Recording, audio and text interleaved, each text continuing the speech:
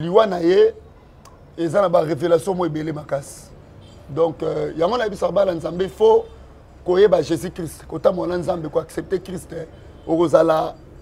okozala na aveuglement te parce que mutu na vie soki ozangi koyeba nzambe toconsidere comme un aveugle parce que okozala mbongo oza na bafortune mais ntango oyebi nzambe te tu es un aveugle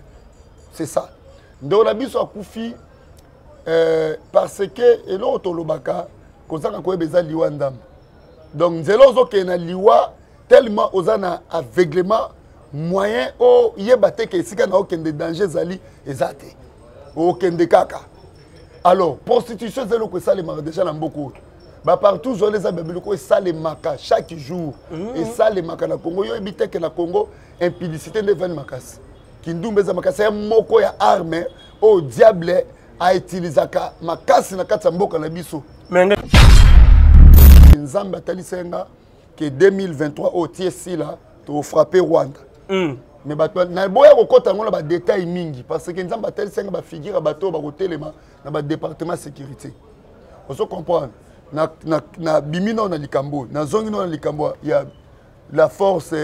pour le salut de la rdc, de la RDC. Mm. ça n'a rien à voir mpo na mboka na biso bilongi wana nyonso ozomona wana mm. moto akosauve mboka oyo aza te o oh, na katumbi na fayulu na matata poni moto akosauve mboka kati na bango wana aza te parce que tomoni mort d'homme mort motu mpe akufi na esika nini na esika oyo bomoni baevenema na bavideo wana ezocircule ozo comprendre ba babi kuna soko cotiser autant de femmes que, que, que tu veux Jérémy même 5 batandami sala vivre na position wana étant que responsable c'est un péché de compagnie babi balia bango te nia umbwa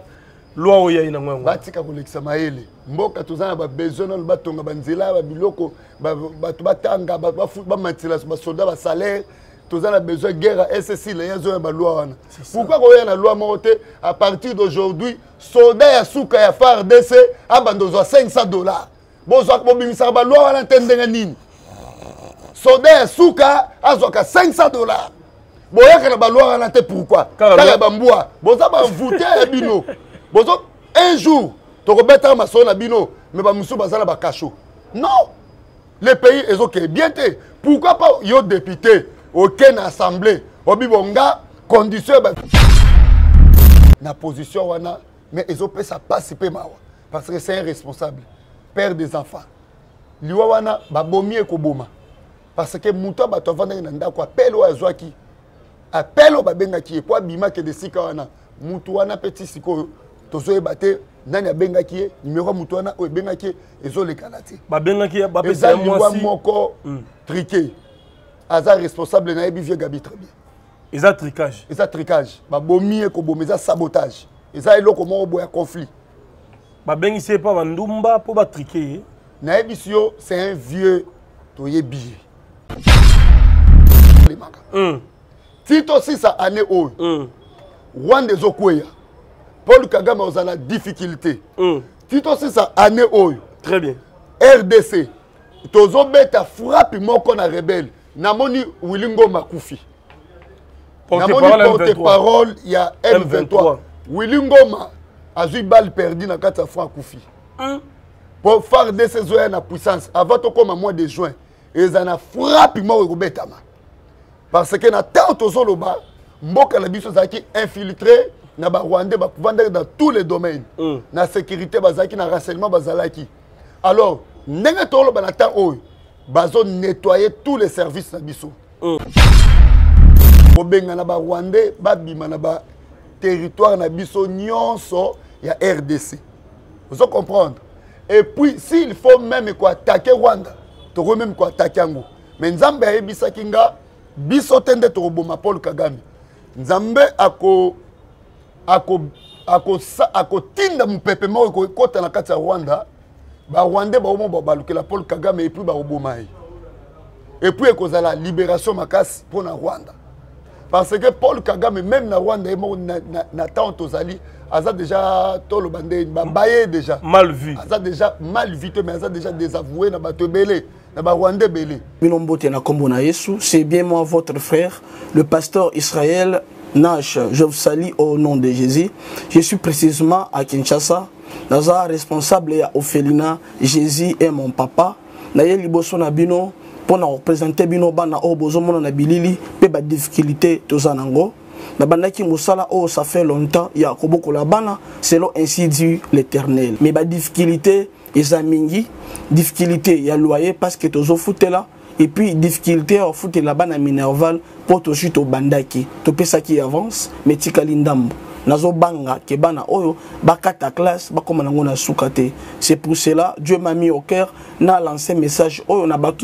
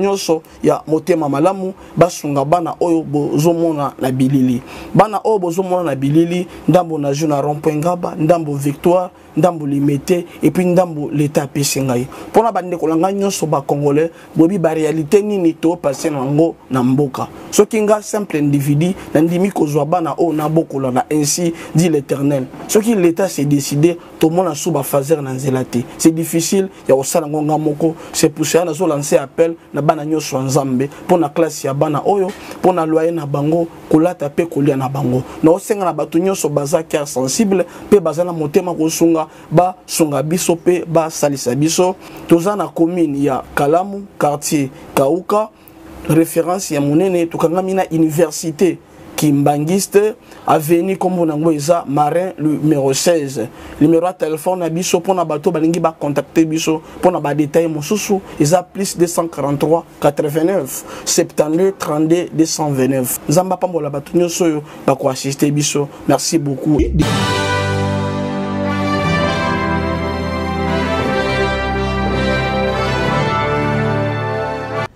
Mesdames et messieurs, très chers amis téléspectateurs, bonjour et merci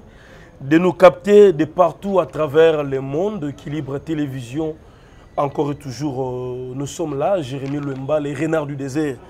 Alors, plusieurs actualités sur la table. D'abord, euh, Martin Fayoulou, Docteur Mukwege, Matata Ponyo, Moïse Katumbi et Delice Sanga se sont regroupés autour euh, d'une structure appelée la force est pour le salut de la RDC. c'est bah, une nouvelle opposition face à l'actuel régime. Est-ce que na kati ya groupe oyo sauveur ya congo aza na kati on va en parler avec l'homme de dieu évangéliste michel ekuchu en dépit de ça tomoni prostitution ezwi place makasi na terrain des femmes des filles qui, qui, qui créent des maisons des maisonnettes oyo bakomisi yango lieu ya ekobo donc kota ndenge olingi nombre de femmes olingi sala bamakambo oyo olingi je crois que bomonaki récente information ndeko moko akufaki meme kuna esali mpasi alors en dépit de ça on prendrait également les révélations to ba baprofession okola apesi l'homme de Dieu tout à l'heure alors évangéliste kuchu bienvenue merci beaucoup jérémie lema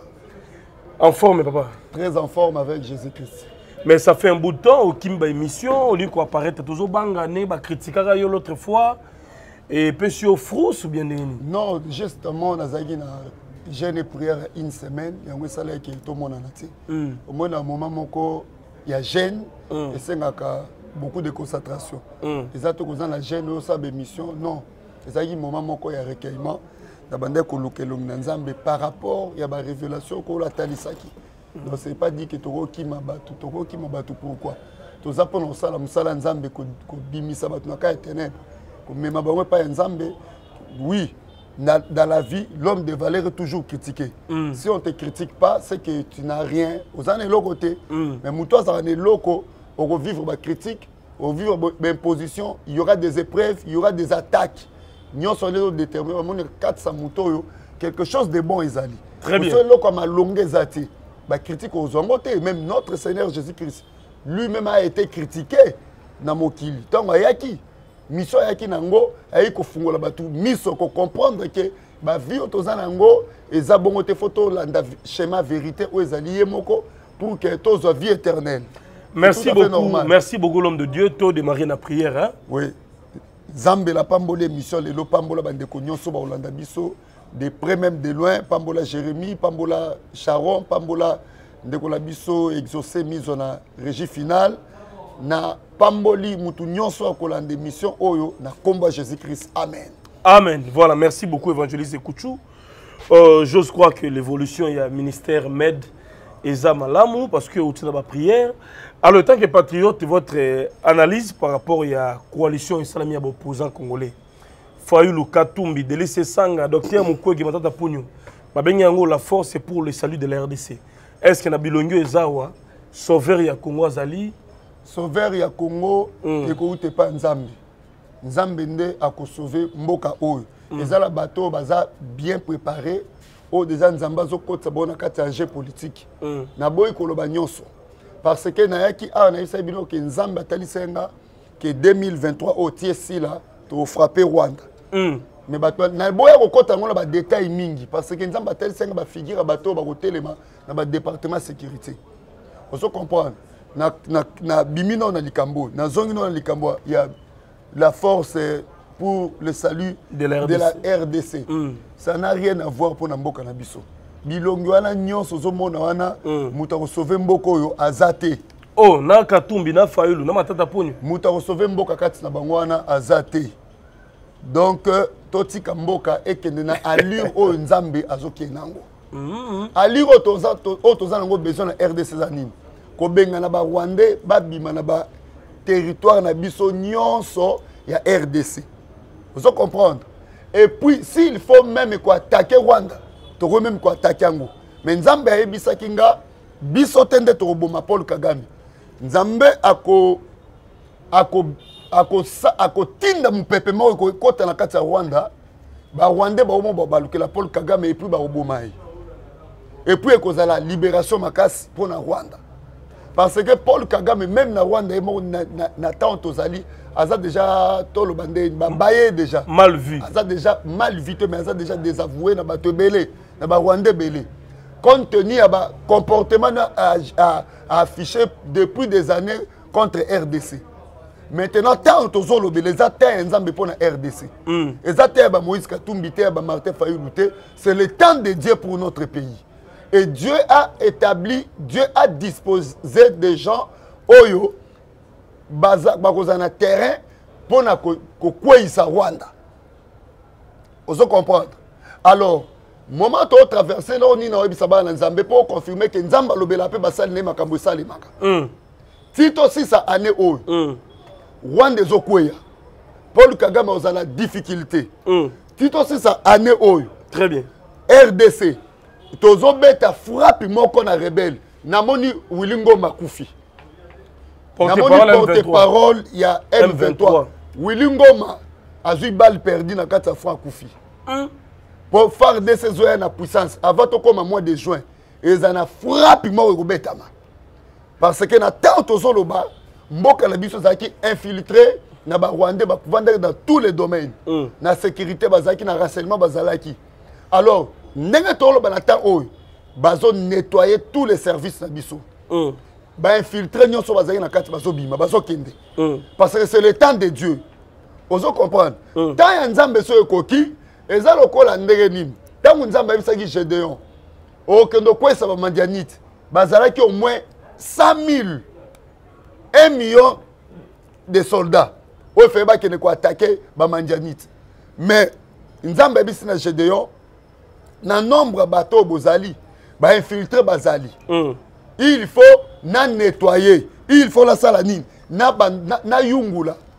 bato oyo basodo bokoki atake na bango epuis nzambe apesaki gedeon exemple alobi moto akomela mai lokola mbwa aza faux soldat écarte ye na temps oyo toza koécarte bainfiltre nyonso bavandaki na mboka na biso donc ezalaki déjà ezalaki déjà ya kotekama mboka déjà ezalaki assiégé na baennemi alors tant tozopalpe délivrance ya rdc petit à petit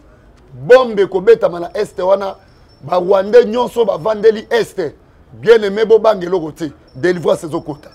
alors ça c'est bien déclaré l'homme de dieu évangéliste michel kouchou merci pour un message d'espoir et de motivation bakongolais ya este bakongolais ya diaspora bakongolais ya kinshasa de partout basepeli na message wana parce que ça motive encore une fois non ce sont des choses réelles alors ça c'est bien étant qu'un homme de dieu likambo etali prostitution papa na mboka oyo je ne sais pas so bacréela yango loi hein? bana ndako bakomi bandumba bana na bino baeglize bachele baétudiante kindumba ekomi na na coin nyonso omoni euh, dossier ya partous oyo soki partous bazobenga yango et des jeunes filles organisées bacréa maison na bango basalaka ba bapromotion na bango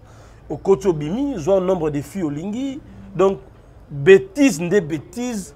makambu nde makambu et il y, y, y, y a même une victime monsieur gabi akufaki un homme marié père son âme et tout et tout situation ya bongo etanke mosala nzambe ezali nini ezomema bato na makambo ya bongo ekozala nini problème eza makambo ya partout esalemaka nango eye ko revese mpo ndeko na biso oyo aza grand frère grand frère vraiment propre auti otika biso ndeko gabi wana ndeko gabi oyebi ye oui aza grand aza ndeko na biso euh, liwa na ye eza na barévélation moko ebele makasi donc euh, yango nayebisaka bana nzambe fo koyeba jésus christ kotambola na nzambe koaccepte christ eh, okozala okozala na aveuglement te parce que mutu na vie soko ozangi koyeba nzambe toconsidere comme un aveugle parce que okozala mbongo oza na bafortune mais ntango oyebi nzambe te tu es un aveugle c'est ça ndeko na biso akufi euh, parce que eloko tolobaka kozanga koyeba eza liwa ndambo donc nzela ozokende na liwa tellement oza na aveuglement moyen oyeba te ke esika na okende danger ezali eza te okende kaka alors prostitution eza eloko esalemaka déjà na mboka oyo bapartout zoli eza babiloko esalemaka chaque jour mhm. esalemaka na congo yo oyebi teke na congo impudicité nde evani makasi kindumba eza makasi ya moko ya arme oyo diable autilisaka makasi na kati ya mboka na biso menge kamusinga bafemme bajolie fille bazwa ndako kuna na kati kaka kindumba na kindumba ya des choses esalemaka deja banda kala na mboka oyo ebeti parce que tomoni mort d'homme mort mutu mpe akufi na esika nini na esika oyo bomoni baevenema na bavideo wana ezosirkile ozo comprendre bah, babi kuna soki okotize autant de femmes que, que, que tu veux jérémie même 5 batandami vivre na position wana état que responsable c'est un péché eza péché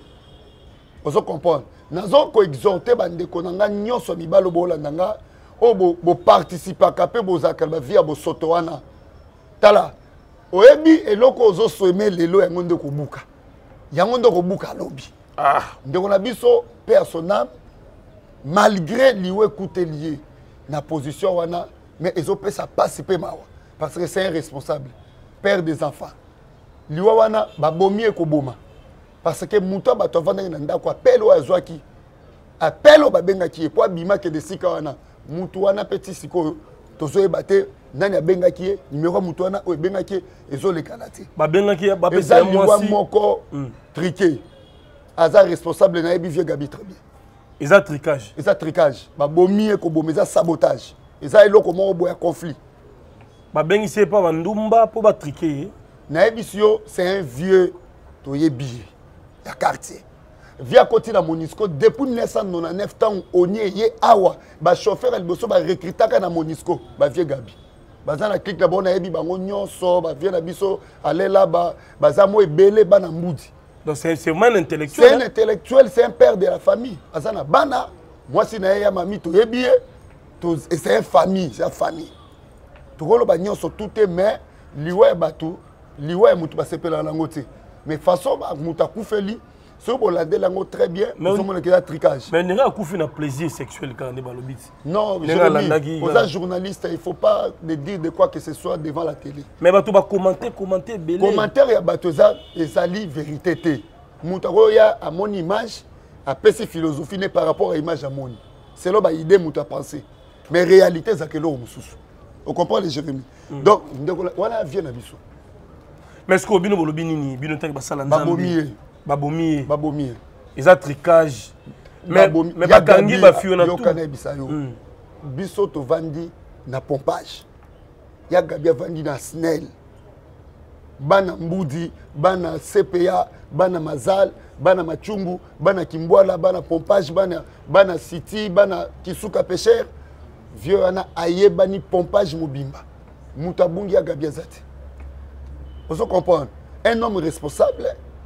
et puis aza na azo travailler na monisco jusqu'aujourd'hui akoki totalise ata ba 23 ans ba 24 ans na monisco mm. baza bachauffeur ya liboso ntango swinga yaka na congo monique ntango ezo recrute bachauffeur bapremier promotion ya monisco ti lelo aza na monisco donc c'est un cadre c'est un cadre ce n'est pas n'importe qui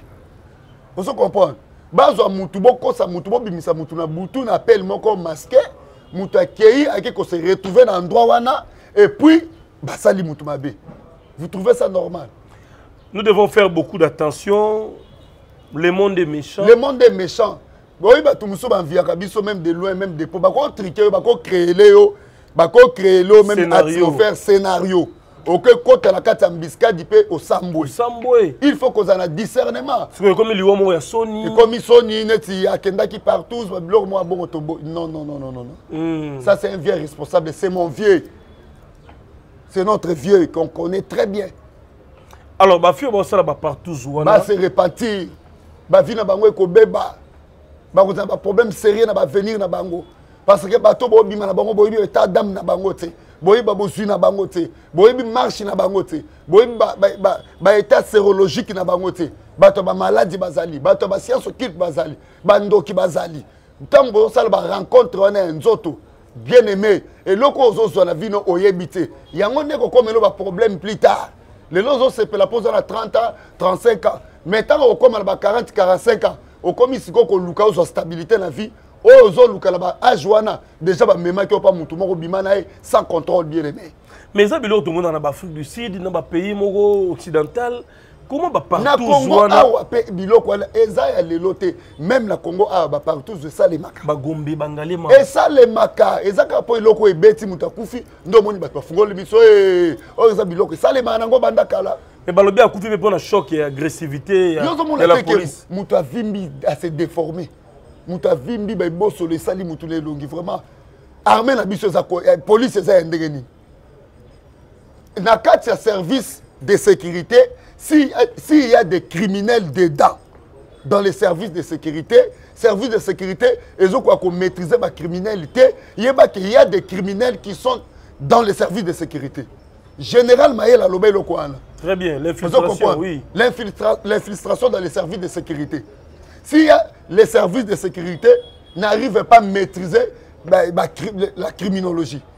c'est-à-dire ba criminel eh, bazo se retrouver bazo se retrouver na service nini ya sécurité comment c'est possible yo so, yo policier oyo ko arrêter mutu obandi ko filmer mutu ba ba ko ko, ko lakisa ba partie intime mutu hein eh? quel genre ya ba policier ce sont des brigades de bandits armée na biso eza na besoin ya bapolicier ya bongo te e, eza na besoin plutôt na baagent ya bongo te baza bato il faut balongola bango mpene na la police babimisi bango babotoli bango bamatrikile wana leta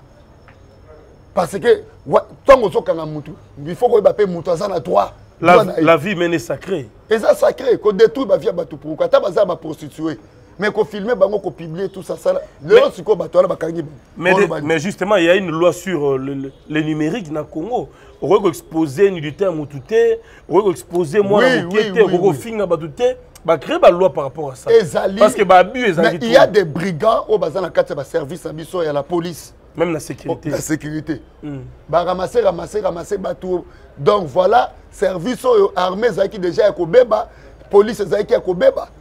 yango ozomona lelo bapolicier bacriminel bavandi na kati ya service ya la police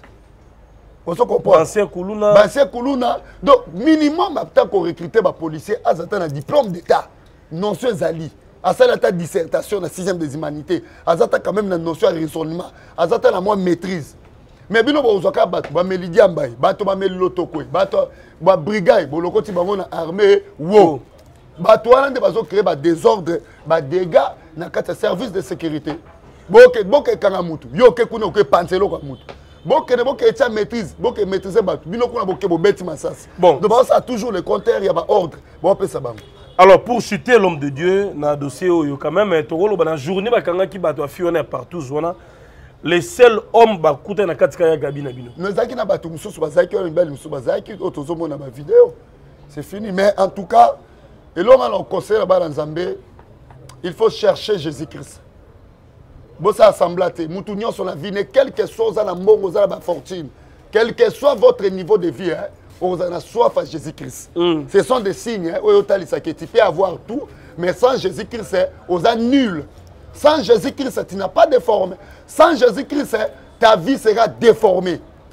parce qu'il y a des endroits ntango oyebi nzambe okotya makolo te si ata babengi yo ata baintostike yo ntango ozotala kaka yesu aza kati na yo osentir interdiction moko intérieure omonake makolo ekoma kilo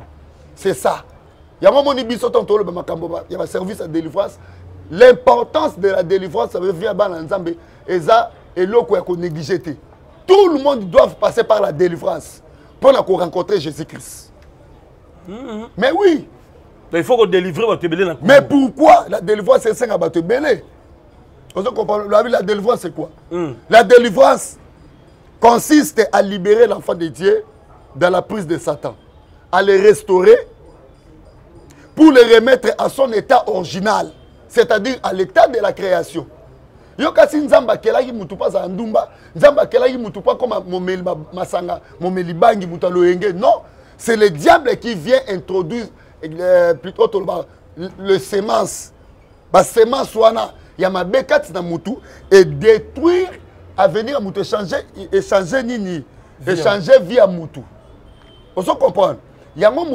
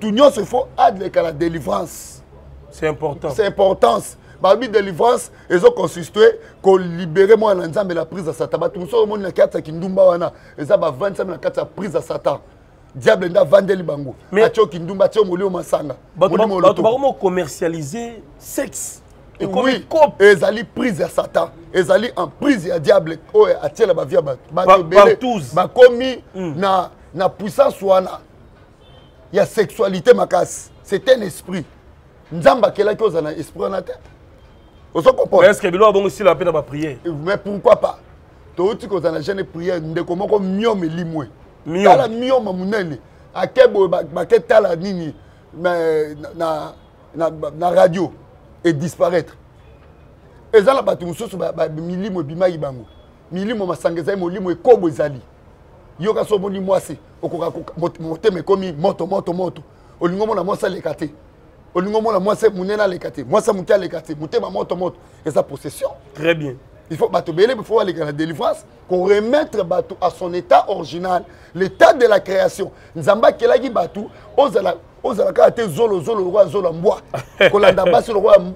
mbwa mobali Mm. Ça, c'est quel genre de moto C'est un homme animal. Il faut être discipliné. Il faut être discipliné. Non, non seulement discipliné, mais il faut être, il faut être délivré. Délivré. Parce que le diable est un chaba bilokwana pour ebimisa mutu na plan merveilleux ya Nzambi. Mm. Ya moment tozo organiser mukolo naza na service ya délivrance spécialisé ya kokata ba lien na ba chaîne. Ya batu oyo baza na ba lien oyo ezotungisa bango surtout impudicité.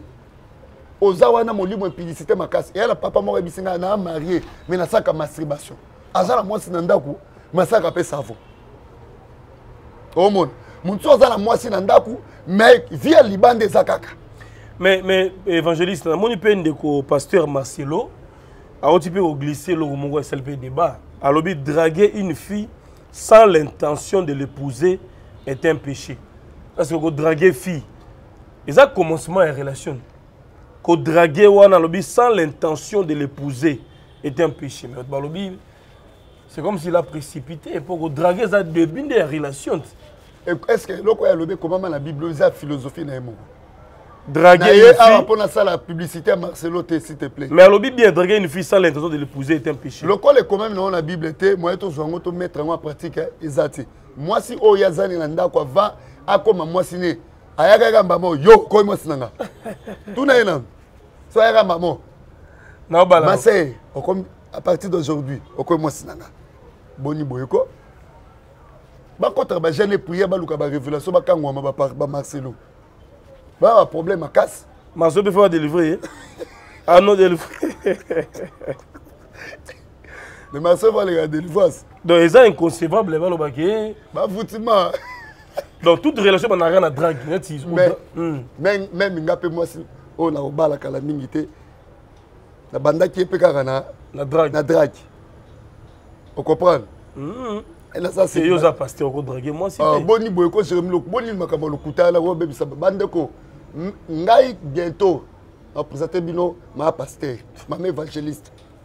mais avant nalinga ye avant tokóma oyo toza lelo nabande mpe kaka kodrage ye ti namoni osambela makasi namoni oza bamoto ye namoni boye boye boye hmm. ozo comprendre hmm. c'est toujours comme ça alongwa kuna masolo alobi eloko ya lokuta eloko ya lokuta aboni boye ko évangile ya lelo eza suba évangile ya ba 1990 te ozo comprendre hmm. le monde eza civilisé mokili ndenge nzambe azomodernize makambo donc c'est un peu ça ah, boni boye ko napesi oyo yanga mbote eh? napesi yo mbote alors merci beaucoup eh. napesi oyo yanga mbote lisusu oyo na chéri ah, jérémi kokota makambo na ngai tozwa bilakeli mabe eh? okay. ngai napesi mbote na ngai eyebi esika ezokende alors okoloba ni par rapport ya loi oyo ndeko boris mbuku aza député ya bambwa eh, alobi ke so bamoni moto azolia mbwa to niau il faut asala prison aza colonie aza moto ya bandundu mais aza moto ya ensemble ya moïse katumbi mais en réalité mpe bambwa basili na kinshasa bambwa ezalaki komonana bafulu bafulu ekoma vide ekoma banzinde bakaplasa bambwa bafaze baka lisusu na bambwa barage tu balia bango toyebi te baye balia bambwa wana me ngai nakisika kolia mbwa mokolo mosusu eh. mm. nakendaka na ilebo eh, na kasai mm. oh, kabui kabui nangi nasomba kabui moninga nanga mwa muluba bie eh, évangéliste keba wana kolia te cibelebele ngabi ah donc ngabi eh, kabui eh, ya ilebo azaka cibelebele naseka makasi donc, donc les, les animaux de compagnie babi balia bango te niau mbwa lwa oyo yai nango yango batika kolekisa mayele mboka toza na babesoin nano batonga banzela babiloko bato batanga bamatela basoldat basalaire toza na besoin guerre ya ssc na ye azoya baloi wana pourkui koya na loi moko te à partir d'aujourd'hui soldat ya suka ya fardc abanda ozwa 500 dollars bobimisaka baloi wana te ndenge nini soldat ya suka azwaka 500 dollars boyaka na baloi wana te pourkui kaka ya bambwa boza banvoute ya bino bozo un jour tokobetaka masolo na bino me bamosusu baza na bakasho non le pays ezokee bien te pourquoi pas yo député oke na assemblée obibo nga condition ya babisi basoda il faut tofutaka bango ne fiske soda suka caporal azwaka 500 dollars yaya so okutela soda na ta na butu akoescorte otina ndako na yo akobatela yo mpenza bien na pays oyo kapasité akofuta soda ya suka 500 dollars ezali me bazoya na balua moko boye kolia mbwa mbwa kolia mbwa nde esali nini kolia nyau nde esali nini eh? oza so bokoti na parlement wana bamayele ekomi bloke eya mpasi ya kindoki ko nga naluka ata moto akolobela basoda ke akoki bomatela ata basoda ne fiske 500 dollars soda ya suka polisi ya suka 500 dollars mais oh, na siko okomona ordre nde ezonga na mboka oyo mais omona oyo oh, loi tiani de loi tiani de père et de mère bozobosana basoda bobosana basenia basenia ta nde éducation ekufi éducation na congo ekufi diplôme d'état kobanda 2000 ti na 2023 diplôme eza ya kokufa na badiplôme biso tu tozwa tokontaka yango te mais oui il y a un problème sérieux diplôme abi esukaka na 1997 ya zaïre mm. oyo tu kobanda ya rdc ti lelo babomi éducation babomi sécurité bofuta basenia très bien rien yo kasi asenia so bopesi ye asenia 500 dollars yebisanga mm. asenia akozala mpe na capacité oyebi ke na congo toya babon travailleur eh? motivation ezalaka te yango ozomona mboka ekela bacorruption banini bozwi ata enseignant 500 dollars soda suka 500 dollars kasi ye depute azwaka 21000 na ye 21000 dollar wana ya badepute bolongoli nanu zero moko depute azonga na 2000 dollar zero moko wana bobakiseli basoda soko soda azwaka 200 azwaka 70 dollar bobakiseli ye zero moko ekomi 700 ou ele mal bozokosa bato toza na bino awa congo ezoleka na délivrance bozela Donc, loi mboel bali mboel. Ezopesa pasa musema je. Est-ce que est-ce que ça loi? Tokate mission pardon. Est-ce que ça loi? Masa kate mission pardon. Po bino musu boy, omoi o kangisa nga pamba. Numéro ya téléphone lo. Numéro langa ezali bande ko bolimbisa nga. Oyo aza na besoin a rejoindre nga pona ba service ya ba prière. Mm. Bo kota na chaîne na nga YouTube bo taper évangéliste Ekuchu TV. Mm. Bo s'abonner massivement na chaîne na nga YouTube évangéliste Ekuchu TV. Bo s'abonner massivement pour chaque 22 heures toza la prière d'attaque. Nga mona mema la prière wana et puis ba délivrance et salima. Chaque 5 heures toza la prière d'attaque et puis chaque 22 heures toza la prière d'attaque du lundi au samedi. Na mema ka ba ba prière bana na Nzambe oza na besoin osambe alange longo. Abonnez-vous massivement au taper na YouTube évangéliste Ekuchu TV. abonnez vous bien aimé bozanga te kozwa ba réponse positive parce que jésus christ le véritable dieu que moi je sers a échoué à Kati. Yami Balé, bien aimé, toi, la service achat parcelle, bien aimé, vous soutenir Bisso, de quoi Lingi à soutenir Bisso pour achat parcelle l'église. Numéro d'anglais affiché, plus 243 9 98 99 36 59. Yango les affiché à l'écran, plus 243 9 98 99 36 59 bobenga nga yo oza na problème nolandelaka service ya ofele église ezwami na commune ya ngaliema na quartier kamunganga na mbinza ozone na arret kamunganga wana kaka avenue diantera numero 14 wana esika tozoluwe mais toza na service ya achat na répété soki oza na besoin o aide biso mpo tosomba lupangu contribution no volontaire 50 dollars 10 30 même soki olingi osomba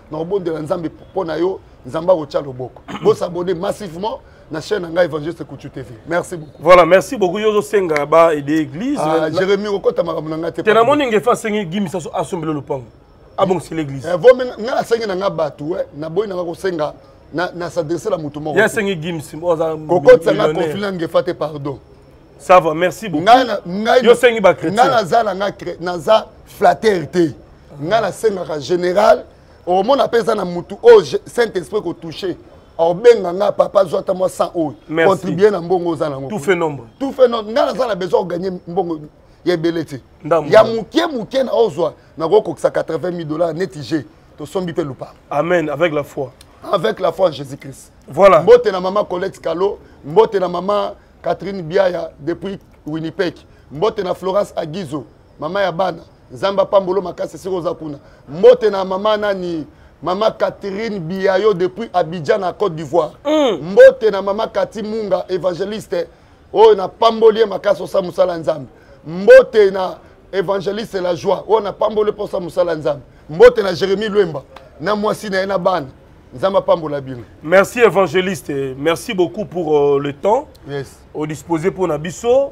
je vais remercier également nos partenaires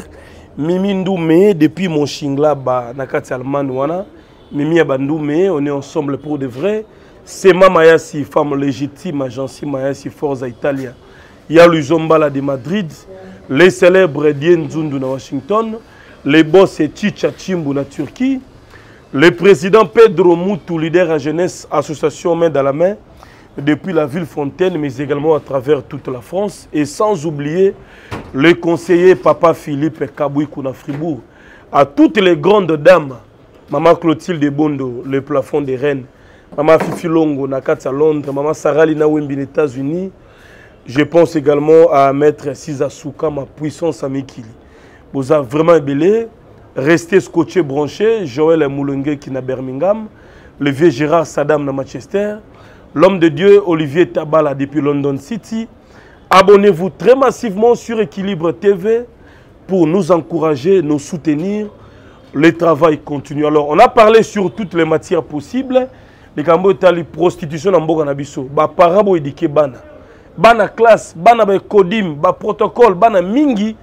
bakosala prostitution sans pour autant boyeba na babar na baboite na bacoin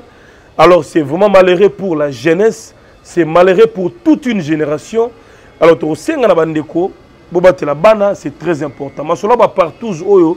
ezalaki plus libanda amoni influence ya batiktok influence ya baréseau sociaux bainstagram ebomi éducation ya bana na biso toveye plus sur bana ekozala malamu mingi sur le plan politique tokosenga kaka sécurité ya mboka tobatela bafrontière tozala ensemble l'unité fait la force on vous aime beaucoup c'était jérémy lemba le renard du désert baba et à très bientôt merci à tous et à toutes to a amemi na vie mm. shalom shalom à vous les enfants de dieu na pesi bino mbote na kombo na yesu c'est bien moi votre frère le pasteur israël Nash, je vous salue au nom de Jésus. Je suis précisément à Kinshasa. Naza responsable ya Ophelina. Jésus est mon papa. Naye liboso na bino mpo na kopresente bino bana oyo bozomona na bilili mpe badifficulté toza nango nabandaki mosala oyo ça fait longtemps ya kobokola bana selon ainsi dit l'éternel mais badifficulté eza mingi difficulté ya loyer parce que tozofutela